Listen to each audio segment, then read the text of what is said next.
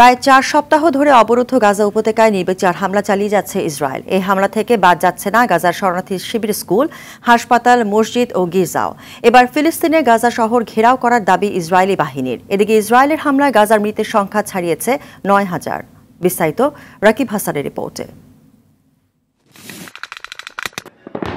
ইসরায়েলের টানা বোমা বর্ষণ ও স্থল অভিযানে মৃত্যু পরিতে পরিণত হয়েছে ফিলিস্তিনের গাজা উপত্যকা। এদিকে হামাসের নিয়ন্ত্রণে থাকা গাজার শহরের চারপাশ ঘিরে ফেলার দাবি ইসরায়েলি বাহিনীর।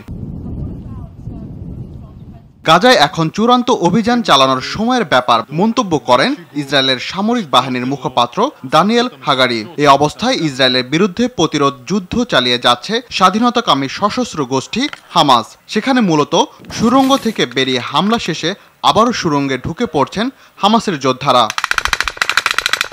এদিকে ইসরায়েল হামাস লড়াই শুরুর পর থেকে শরণার্থী শিবিরগুলোতে মানবেতর জীবনযাপন করছে গাজার বাসিন্দারা। পর্যাপ্ত খাবার তো দূরের কথা, নেই নিজেদের পরিষ্কার পরিচ্ছন্ন রাখার প্রয়োজনীয় সামগ্রীও। এমন অবস্থায় ছোঁয়াচে রোগে আক্রান্ত হচ্ছে গাজার শরণার্থী শিবিরের মানুষজন।